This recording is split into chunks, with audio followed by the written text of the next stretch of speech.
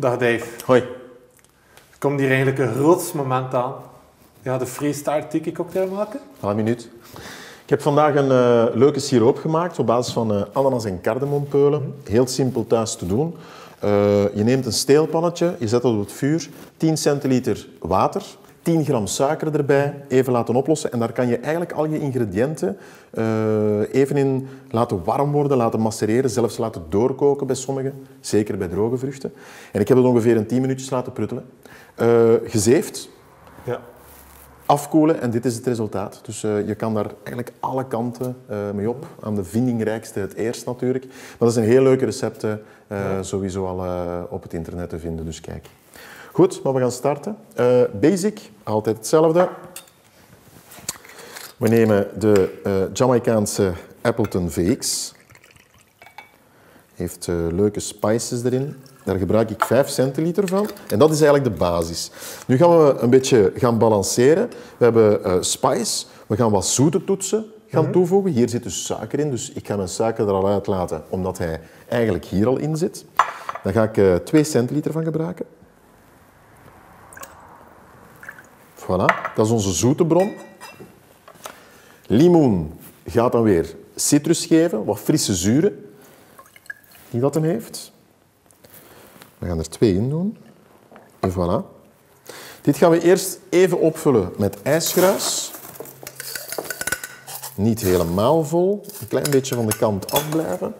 En dan gaan we even alle smaken in elkaar oplossen. Dat is eigenlijk wel bij de tiki cocktails een andere stijl. In de meeste cocktails wordt er ijsblokjes gebruikt, maar tiki cocktails... Typisch ijsgruis, klopt. Ja. Je hebt ook eh, niet heel veel qua volume nodig. En eh, een 7, 8 centiliter in een standaard glas met ijsblokjes, dat zie je eigenlijk niet zitten. En met ijsgruis zorg je er eigenlijk voor dat dat eigenlijk werkt als een magneet. En je trekt dat eigenlijk helemaal eh, mooi naar boven. En dat maakt het ook heel leuk.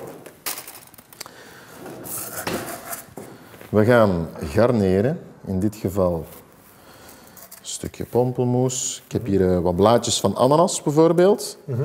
Die ik eh, wat samen ga zetten. Op deze manier. Die gaan we er leuk achter steken. Dat geeft ook wat eh, exotisch karakter. Ik heb hier een kumquat, dat zijn eh, kleine appelsientjes. Ik heb die eigenlijk gewoon in vier gesneden, maar niet helemaal erdoor. Zodoende dat je die er eigenlijk kan opzetten, mooi kan openplooien. Op deze manier. En dan eigenlijk een klein bloemetje eh, gaan maken. Wat je ook eventueel kan doen, als je sinaas hebt, en je hebt een zesteur, dat is dit Ja. eigenlijk, hè, dan kan je die sinaasappel eh, gaan vastnemen en kan je leuke zesten trekken. Ik doe dat meestal boven mijn glas, omdat eh, het parfum van de sinaas er ook nog eens extra eh over gaat. Kijk, dat is een leuke zeste. Ik ga helemaal rondgaan. Dat hoeft in principe niet. Hè. Een beetje oefening baart kunst natuurlijk. In het begin wordt dat een beetje zoeken. Voilà, en we zijn er. Dit gaan we opzij leggen. We gaan even een rietje nemen. En we gaan die zeste eigenlijk heel even... Mooi er rond draaien. Het is ook vrij kleurrijk, die tiki cocktails. Leuk, hè? Alles kan, alles mag. Geen vaste regels. Je kan echt wel hele leuke dingen gaan doen. Dan kan je die bijvoorbeeld op deze manier op je drink gaan leggen. Voilà, mijn variatie erop. Ik zou zeggen, Peter, Mooi. give it a shot. Thanks. Cheers. Cheers.